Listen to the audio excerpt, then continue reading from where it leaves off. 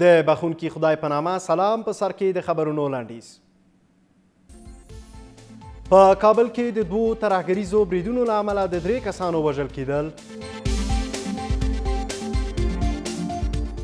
د بغلان په تاله او برفک ولسوالۍ کې د افغان امنیتي ځواکونو او طالبانو ترمنځ د نښتې دوام او د امریکې او سویلي کوریا لخوا د ګډ پوځي ازمایښت ترسره کېدل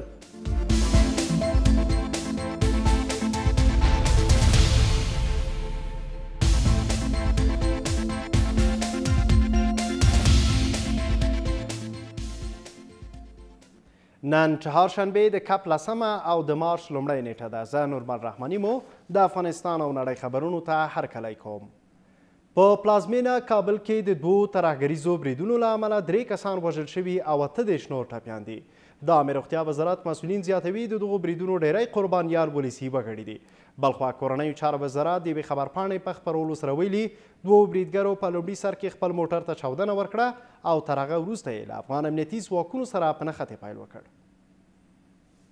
ترهګرو یو وار بیا د خلکو خوښي په غم بدله کړه. دا وارې ترهګرو په پلازمېنه کې شپږمه حوزه په نښه کړه. ترهګرو لومړی له چاودېدونکو توکو ډک موتر ته چاودنه ورکړه او دوه نورو له یوې نږدې ودانۍ پنځه ساعته نښتې ته دوام ورکړ. امنیتي سرچینې وايي، په دغه پېښه کې د ملکي وګرو ترڅنګ د حوزې اداري آمر او د کنترول آمر هم ټپیان شوي دي. ویل کېږي د دې برید سره یو ځای ترهګرو په دولسمه حوزه کې هم یوه پوځي برخه په نښه کړې وه. د عامې روغتیا وزارت وایي چې له دې پېښو دوی ته درې مړي او اته دېرش ټپیان ور وړل شوي دي. د حادثه ناگوار که امروز در حوزه ششم شهر کابل واقع شد متاسفانه حدود سی و هشت تن از هموطنای ما زخمی و دو تن شهید شدند زخمی حادثه در اسرع وقت توسط کابل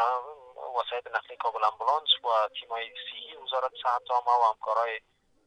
سکتورهای مختلف په مراکز درماني او زراعت سرپناه انتقال یافته. دغو بریدونو د پلازمینې اوسیدونکي یو وار بیا اندیښمن کړي دي او تر دې مخکې د هیواد لوړپوړو چارواکو هم ویلي وو چې راتلونکی کال به خونری وي خو د نن ورځې وحشتونو په اړه عیني شاهدان داسې کیسه کوي. در سایه پل سوخته بودیم طرف بالا می آمدیم که این صدای انفجار شد. طرف شرک همی سو که یک دانه موتر سفید داخل حوزه درو شد او خود پران دیگه دو موتر اونجا یک موتر اونجا استاد بود نفرش تا شد دو تا نارنجک انداخت داخل رفت دو اسکر اون اونجا دمو پیرخانه بند مانده بود اونمو اون هنوز فعلا دیدمش هستن دیگه بیزار شده دختر 30 ساله است زوف کده ایج دا اوس نامه و مادم شد زخمی کرد گفت زنگ زد بیا لی او زنگ اجازه نمیده پیش برم په پلازمېنه کې تر څو اونیزو آرامۍ وروسته نن یو وار بیا د دې ښار سکوت تروریستي بریدونه مات کړ او دا بریدونه ویل کېږي راتلونکي پسرلۍ ته د خطر زنګ دی. کابل یو ځل بیا د یو ترهګریز برید شاهد وو. دا پېښه په داسې حال کې کېږي چې په راتلونکي پسرلي کې امنیتي وضعیت ګواښمن بلل شوی ده، خو بیا هم پوځي شنونکي او نظامي ځواکونه دا دادګیرنه خلکو ته ورکوي چې په دغه پسرلي کې د داسې حوادثو مخنیوی به وکړي. شیرشاه نوابي، خورشید تلویزیون، کابل. طالبان له پوځي لارې نشي کولی چې خپلو موخو ته ورسیږي. د پرېکنده ملاتړ ماموریت ویاند په پلازمېنه کې شوي بریدونه غندي او زیاتوي، وسلهوال مخالفین باید د افغان ځواکونو پر وړاندې د جګړې پر ځای د سولې لار غوره کړي. کابل نن غرمه د دوه بریدونو شاهد و. لومړی برید په شپږمه حوزه کې ترسره شو چې مرګ ژوبله یې نه درلوده. طالبانو د دې برید مسوولیت په غاړه اخیستی دی. د پرېکنده ملاتړ ماموریت ویاند دغه برید غندلی دی. خو د طالبانو دغه برید غندم چې له امله یې ملکي کسانو ته مرګ ژوبله واوښته. طالبان به هېڅکله هم له پوځي لارې خپلو موخو ته و نه رسېږي او غوره ده چې د جګړې د دوام پر ځای د سولې خبرهاترو پروسې ته غاړه کېږدي. د طالبانو ترڅنګ داعش ډله افغانستان د سیمې او نړۍ هیوادونو ته بل ګواښ بلل کیږي ښاغلی کلیفلند وایي دوی به د داعش ډلې د لمنځه وړو په موخه په هر ځای کې چې فعالیت کوي هڅې وکړي داعش زموږ لپاره یو جدي ګواښ دی دغه ډله او جنګیالي چې په هر ځای کې وي له منځه به یوسو زموږ لپاره توپیر نه لري چې په کوم ځای کې عملیات کوو که داعش په پاکستان او یا افغانستان کې وي زموږ لپاره د داعش ډلې له منځه وړل لومړیتوب لري دغه امریکايي جنرال ټینګار کوي چې افغانستان به د دوه زره اولسم کال تر پایه پورې شپاړس نورې پوځي الوتکې هم ترلاسه کړي. لومړی به موږ له افغان حکومت سره اته پوځي الوتکې د دوه زره اولسم کال په پیل کې مرسته وکړو او اته نورې پوځي الوتکې به د دوه زره اولسم کال تر پایه پورې مرسته وکړو څو افغان امنیتي ځواکونه وکولای شي د ترهګرو ډلو پر وړاندې په غوره توګه جګړه وکړي. له دې ټولو سره سره په داسې حال کې په افغانستان کې د ترهګرو ډلو د لمنځه وړو خبره کېږي چې اوسمهال شل کورنۍ او بهرنۍ ترهګرې ډلې له افغان حکومت سره په جګړه بوختې دي. د بغلان په تل او برفک ولسوالۍ کې د افغان پوځیانو او وسله والو مخالفینو ترمنځ سخته نښته روانه ده. د بغلان والي وایي وسله وال مخالفین د افغان امنیتي ځواکونو له سخت مقاومت سره مخ شوي او هڅه کوي چې ترهګر په شا وتمبوي. پر بغلان د ترهګرو نور بریدونه د دولت او وسلوالو مخالفینو د دې ولایت د فرق او تعالی ولسوالیو د سقوط په مخه خپل بریدونو ته زور ورکړي د بغلان والی په وینا د بریدونو د دولت وسلوالو مخالفینو ته درنه مرجوب لاړولې ده جنگ در اونجا جریان داره و نتایج نهایی از طرف ارگانهای ما که در اونجا پلیس و امنیت است هنوز رپورت داده نشده اما زنگایی که مردم از اون منطقه با شجاعت و با مورال بلند میزنند اونا از مقاومت به ما اطلاع میدن. د تاله او برفک ولسوالیو سربېره د دې ولایت دوشي ولسوالۍ هم د دولت د وسله والو مخالفینو د برید لاندې راغلې ده. یعنی متاسفانه پنج نفر مرده و زخمی زخمی و کشته داشتن و این روز تا ما خود جنگ بودیم تا بر ما امر نامه فعلا دو نفر به قرار اطلاعی که آمدن دو نفر دیگه ما دشمن کشته شده سیم روز د دې ترڅنګ د لغمان ولایت مرکز مهترلام ښار هم د طالبانو تر برید لاندې راغلی دی او په بغلان او لغمان ولایتونو کې امنیتي چارواکي ټینګار کوي چې ډېر ژر به ترهګر له منځه یوسي او له دې سیمو څخه به یې په شا وتمبوي. د دې خبر د نورو جزییاتو لپاره همدا شېبه له موږ سره د بغلان والي ویاند ښاغلی ذبیح الله شجاع د ټلیفون په کرښه دی. سلامونه ښاغلی شجاع صاحب زما غږ اورئ؟ سلام علیکم شما مشتاق خوب هستین ساعت مننه ژوندی اوسې. داسې راپورونه شتون لري چې د بغلان تاله او برفک ولسوالۍ د وسله والو مخالفینو له خوا سقوط شوي، آیا تاسو دغه مسئله تاییدوئ او که نه؟ نیروهای امنیتی از استقامت ولسوالی دوشی البته و سوی ولسوالی تاله و برفک از دو روز به ای طرف در حال پیشروی بودند اما مخالفین یگان هایی را که ایجاد کرده بودند در مسیر راه ما امروز قبلا شاید تصاویرش شما داشته باشین برای شما فرستادیم که از او صاحب پیشروی داشتیم در استقامت تالا و برفک و هم هم جنگ جریان داره تلاش ها جریان داره که نیروهای امنیتی که در اون ساحه به خاطر وصل شدن به اون سوالی تالا و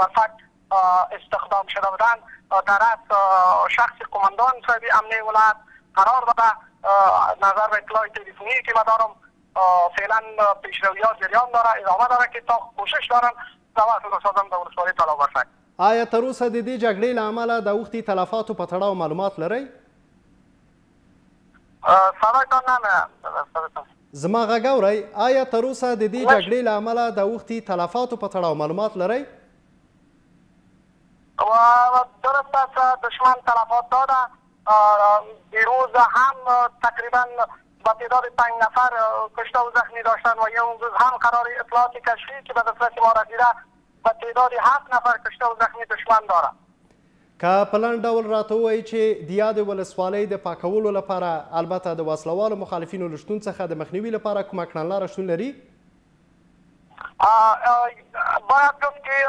به نام قاری میراجدین یکی از یکی از عضویت طالبا را داشته که برادر ولسوال نام نهاد طالبا در ولسوالی تالا و برفک بود و مسئولیت نظامی یا مسئولیت جنگ ولسوالی تالا و برفک به عهده داشت او توسط پلیس البته شب قبل گرفتار شد فعلا هم تحت نظارت در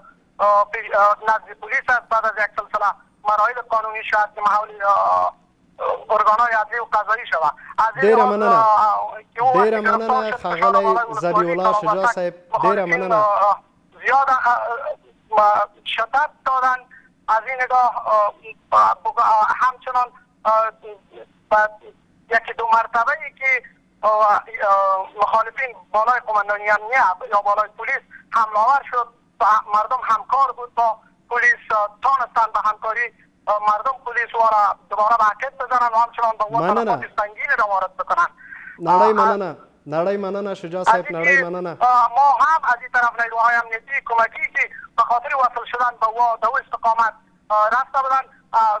کوشش خود داشتند که وصل شوند اما موانعی که در مسیر راه یا کمینایی که در مسیر راه دشمن افراز کرده بود باعث از این شد که سکتگی یا خدای نخواسته سکتگی نگویم یا ای که زمان گیر شوه به پیشروی نیروهای امنیتی ده مننه کور ودان اما دشمن در سطح ولایت بغلان از آغاز عملیات نوید شیرشی با ایلا کنون با به تعداد کمتر بالاتر از ده نفر کشته و با بالاتر از 15 نفر هم در کل زخمی دارند مننه یو نړۍ مننه بریالی اوسې شجاع صاحب د خبرونو دوام محمد محمد امام ویریماش د ټاکنو کمیسیون د دارالانشا رئیس په توګه وګمارل شو د ولسمشر د ویاند مرستیال وایي چې ښاغلي غني تیره غرمه وروسته ښاغلی ویریما چې د ګما د ګمارنې فرمان ورکړی دی دا په داس حال کې ده چې تیره ورځ د یادې څوکۍ لپاره له نوماندانو سره د ملي یووالي حکومت د مشرانو لخوا د مرکې بهیر پای ته ورسید د کندوز پخوانی والي عمر صافی وايي، روسي جنرالان او روزونکي طالبانو ته د پوځي زده کړې لپاره دشت ارچي، امام صاحب او کلبت ولسوالیو ته تګ راتګ کوي، خو د ملي دفاع وزارت مسؤلین دغه مسئله بې بنسټه بولي او زیاتوي، که چېرې په کندوز کې د روسي جنرالانو د شتون په تړاو سند ترلاسه کړي، نو پر وړاندې به یې کوټلي ګامونه پورته شي. په وروستیو کې روسیې د داعش په پلمه په شمال کې په ځینو ولایتونو باندې تمرکز ډیر کړی اوس اوس د کندوز پخوانی والي وایي چې روسانو په دشتارچي امام صاحب او د کندوز په کلبات کې له طالبانو سره ناستې کړي چې موخه یې د ترهګرو روزنه او سمبالتیا ده. لیدل کیږي چې دوی بعضې ملاقاتونه لري په ما جنګلي ساحو کې او بعضې حتی یو میاشت مخکې دوی طالبانو خپله قطعه تقدیم کړله او نظامي تمرینات یې درلودل په د کلبات په سیمه کې. بلخوا د کندوز امنیتي چارواکي د نوم نه ښودلو په شرط وایي چې طالبان په کندوز کې روسیه تجهیزوي او له دوی سره یې اوس هم ناستې روانې دي. روسیه په کندز کې طالبان سمبالوي او پاکستاني طالبان د دوی ترمن د خبرو د ټینګښت رول لري. طالبان کوښښ کوي د امنیتي ادارو په لیکو کې نفوذ وکړي او وروسته تر دې چې د تورخم او سپین بولدک د لارو د تړل کېدو له امله افغانستان خپلې اړتیاوې له نورو لارو پوره کړې، اوس طالبان د پاکستان په خوښه کوښښ کوي شیرخان بندر نا امنه کړي. د کندز مسؤلین په دې نظر دي چې په دې ولایت کې روسان مستقیمه لاسوهنه نه لري ولې هڅه کوي پهدې ولایت کې له طالبانو سره اړیکې ټینګې کړي؟ تلاش لري، روسان هم تلاش لري او طالبان هم تلاش د دې لري چې په نږدې سیمه کې ځان ته یو اکمالاتي دوست یا اکمالاتي دوستان پیدا کړي چې له هغه ځای نه خپل ځانونه اکمال کړي. د دفاع وزارت د ویاند مرستیال وايي چې له دوی سره په کندوز کې د روسانو د شتون په اړه کره اسناد نشته دي. که دولت منتخب افغانستان که اردوی ملی حافظ منافع و حافظ دولت انتخابی مردم است ای طور نظر دارد که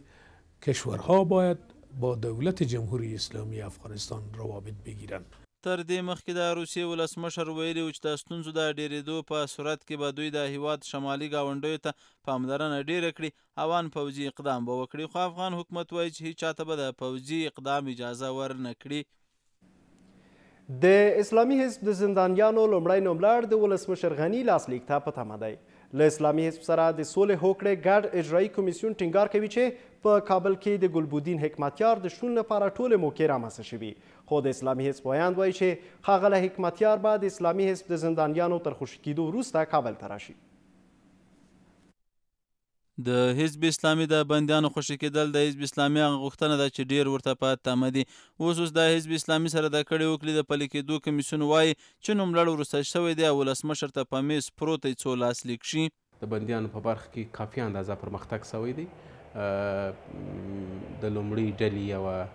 نږدې راتلونکي به موږ د یوې ډلې بندیانو د خوشې کېدو شاهدان اوسو. د حزب ویاند وايي چې مشر به یې هغه وخت کابل ته راشي چې ځینې بندیان خوش شي او هم د دوی مشر ته د استوګنې ځای تیار شي. آزادی و سراستی دادش که لستش ترتیب شده و جای یا مرکزیت برای مهاجرین افغان است و بعد از اون انشاءالله عنقریب انشاءالله شاهد خواه بودین که امیر حزب اسلامی ظاهر میشه. شنونکي هم وايي چې د بندیانو خوشې کول د شوې هوکړې مهمه برخه وه. ګام از او باید این می بود که در اساس قرارداد بندیای حزب اسلامی رها می شد که بندیا را بر رایش پیشنهاد شده که او پیشنهاد باید رئیس جمهور حکمش رایی را بده و بعد از او آقای حکمتیار می خو د ګډ کمیسیون مسئولین وايي چې دوی حکمتیار ته تیاری لري چې په دې کې د حکمتیار ځاني امنیت هم شامل دی. د حزب اسلامي د مشر محترم حکمتیار صاحب د راتګ لپاره بشپړه امادګي لري، د هغه د اقامت ځای او د هغه د امنیت او د هغه د اوسېدلو لپاره پوره امادګي نیول شوې ده، هم د راتلو په برخه کې پروتوکولي چاري او امنیتي برخه کې او د لوژستیکو په ټولو برخو کې پوره امادګي شته او موږ دې ته په تمه یو چې حکمتیار صاحب د هوا په ښه کېدو سره تمه ده چې هغه کابل ته تشریف راوړي. دا په داسې حال کې ده چې ویل کیږي د بندیانو خوشې کیدل د شته حکومت له ژمنو څخه وو او حزب اسلامي له حکومت څخه غواړي چې په کړو ژمنو دې عمل وکړي. افغان میرمنې باید هڅه وکړي چې له کمو امکاناتو سره اقتصادي بساینې ته ورسیږي. د هیواد لومړی میرمن وایي د نړیوالې ټولنې همکاریو ته په کتو سره افغان میرمنې د پخوا په پرتله له اقتصادي اړخه ډیر پیاوړي شوي دي. د افغان ښځو شبکې نن د مارچ له اتمې نېټې څخه چې د ښځو له نړیوالې ورځې سره برابره ده د سولې او پراختیا په برخه کې د افغان ښځو د پیاوړي کېدو تر نامه لاندې په کابل کې لمانځنه وکړه د هېواد لومړۍ مېرمن چې په دې مراسمو کې ګډون کړی و وویل افغان ښځې ورځ تر بلې له اقتصادي پلوه پیاوړي کېږي خو د امریکې د سیاست په بدلون سره د همکاریو د پرې کېدو په اړه اندېښنې شتون لري او اړتیا ده څو په کمو امکاناتو ځان بساینې ته ورسوو همه امروز شاهد تغییرات سیاسی و اقتصادی بزرگ در امریکا و اروپا هستیم و یقینا از تغییرات پیامدها خود را برای کشورهای جهان سوم از آن جمله افغانستان خواهد داشت. د بشري حقونو خپلواک کمېسیون رئیسه نیوکه کوي چې د افغانستان ټولنه اوس هم مرسالاره ده او په ټولو دولتي بنسټونو او په ځانګړي ډول په سیاست او رهبرۍ کې د ښځو د ګډون غوښتنه کوي. زن در پلیس باشه در اردو باشه در امنیت ملی باشه در صحت باشه در تعلیم تربیه باشه در تمام ساحات اجتماعی باشه بخصوص در سیاست باشه. د ښځو د حقونو یو شمېر فعالین هم په ولایتونو کې په حکومتي ادارو کې د ښځو د کم ګډون په اړه اندېښمن دي. در ولایت هرات ما در سطوح رهبری خانم ها کمتر داریم.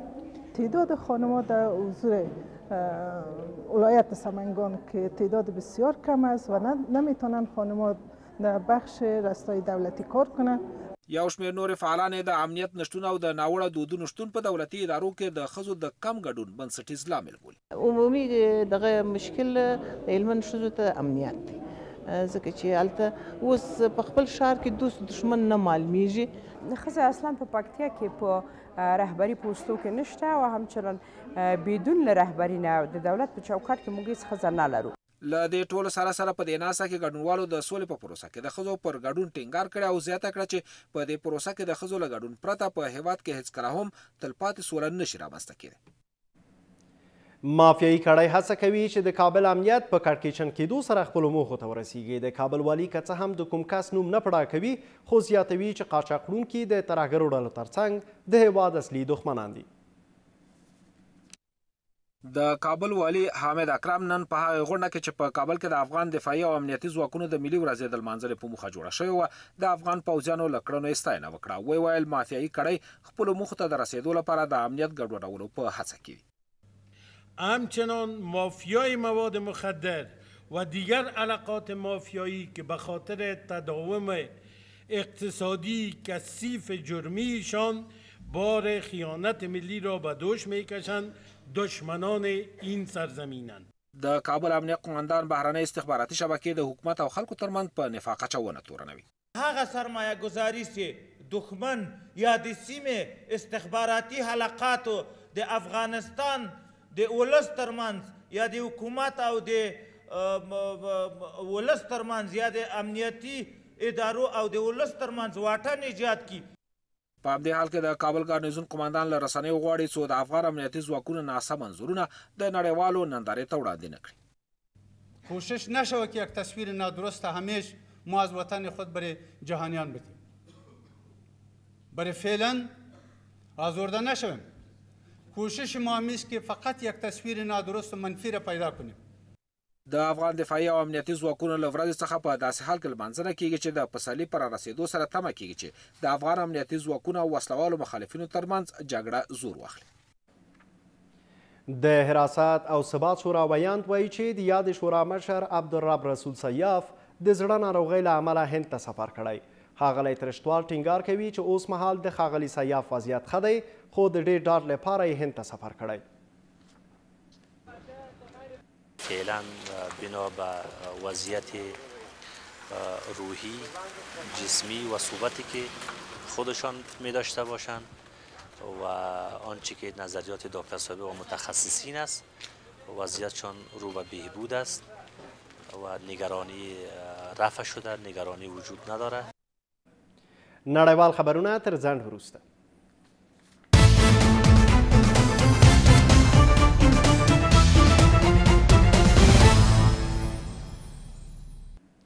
نړیوالو خبرونو ته مو هرکلی کوم د امریکې او سویلي کوریا پوځیانو نن په ګډه توغندیز ازمویښت ترسره کړ د راپورونو له مخې دغه ازمویښت هر کال د امریکې او سویلي کوریا په ګډون د شمالي کوریا د احتمالي برید پر وړاندې د چمتووالي په خاطر ترسره کیږي په دې ازمویښت کې د امریکې اوولس زره او د سویلي کوریا درې زره پوځیانو ګډون کړی و. د سوریې دولتي ځواکونه ډیر ژر د پالمیرا لرغونی ښار د اسلامي دولت په نوم له جنګیالیو خوشي کوي د رویټرز خبري سرچینې د سوریې پوځ له خولې راپور ورکړی چې پوځیان د یاد ښار په لوري د پرمختګ په حال کې دي د پوځ چارواکو ویلي چې یوه ستراتیژیکه سیمه یې تر خپلې ولکې لاندې راوستي د امریکې ولسمشر ډونالد ټرامپ په کانګرس کې د خپلې لومړۍ وینا پر مهال د امریکې له متحدینو پر ملاتړ ټینګار وکړ. ولسمشر ټرامپ زیاتوي چې د امریکې متحدین هم باید په دې مشارکت کې ونډه ولري. نوموړی همدارنګه د امریکایي وګړو د روحیې پر پیاوړتیا ټینګار وکړ او زیاته یې کړه چې د دې مسلې د پلي کېدو لپاره به جدي هلې ځلې وکړي. په مالیزیا کې څارنوالان وایي دوه هغه ښځې چې د شمالي کوریا د مشر ورور په وژنه کې ښکېلې دي د چهارشنبې په ورځ رسما تورنې شوې د مالیزیا لوی څارنوال وایي دغه دوی ښځې چې یوه یې د اندونیزیا او بله یې د ویتنام اوسیدونکي ده رسما تورنې شوي او که وژونکې ثابتې شي ښایي د اعدام په سزا محکومې شي ښاغلی کیم د تیرې میاشتې په دیارلسمه نیټه د مالیزیا په هوایي ډګر کې ووژل شو اقتصادي خبرونه هم شته خو تر ځنډ وروسته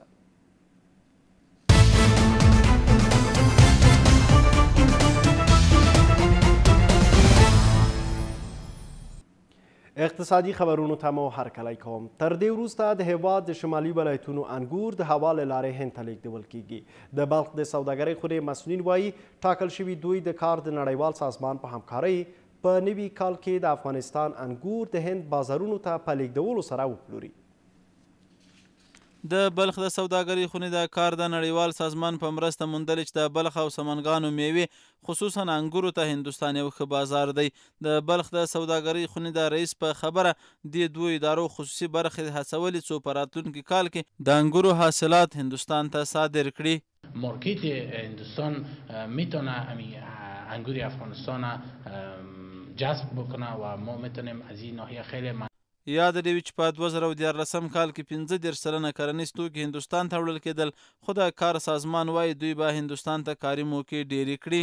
میشه ما انگور هر ولایت از کابل از بلخ از سمنگان انگور هر جای انگور هر جای ما به او صادر کنیم به خاطر که این سروی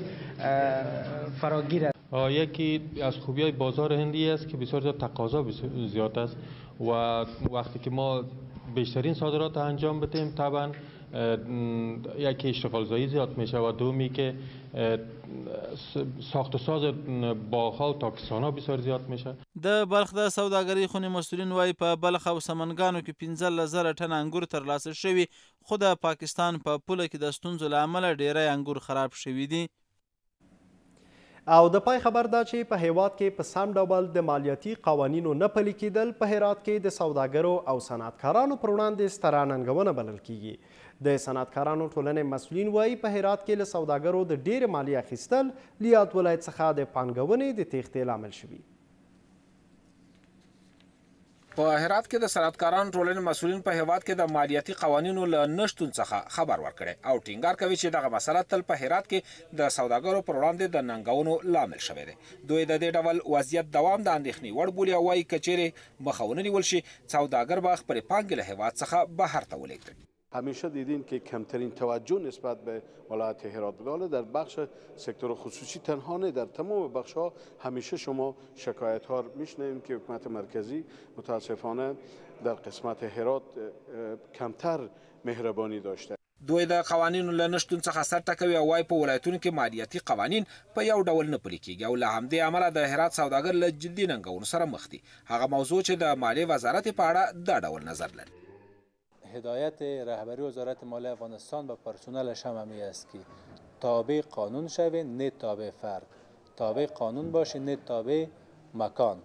په همدې حال کې اقتصادي شنونکي په دې باور دي چې په هرات کې د غوره امنیت لپاره په دې ولایت کې قوانین ډیر پلي کیږي. مسئله اجرا قوانین در کل جا یک که من تا مردم هرات یک مردم بسیار منعطف جام قوانین در اینجا زیادتر اجرا میشه نسبت به دیگه جا د هرات صنعتکاران او سوداګر شکایت کوي چې له دوی څخه لوړه مالیه اخیستل کیږي د دوی په وینا مرکزي حکومت د هرات پر وړاندې له تبعیض څخه کار اخلي او تلې مالیاتي قوانین په غیر منصفانه ډول له هرات څخه پیل کړي دي